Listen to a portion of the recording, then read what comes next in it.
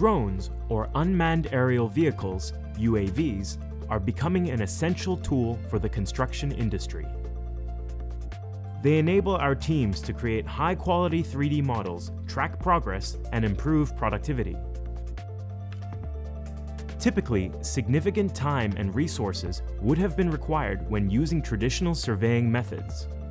For drone surveying, a software is used to preset the drone flight path. This enables a detailed survey of multiple points to ensure a consistent survey each time. The collected data can be used to compare the design with the construction progress to date through a computer program.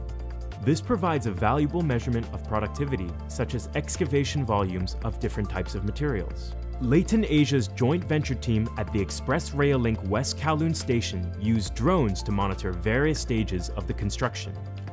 Drones can also help to generate detailed as-built survey records, particularly for areas that are difficult to reach safely, such as the roof of the passenger clearance building for the Hong Kong-Zhuhai-Macau Bridge. The survey provides detailed coordinates and data which can be given to the client as part of the as-built handover information. Drone surveys can also help to take breathtaking imagery and fly-throughs of these spectacular projects. The unique benefits that drone technology offers to construction and the huge amounts of potential for increased uses in the future are clear to see.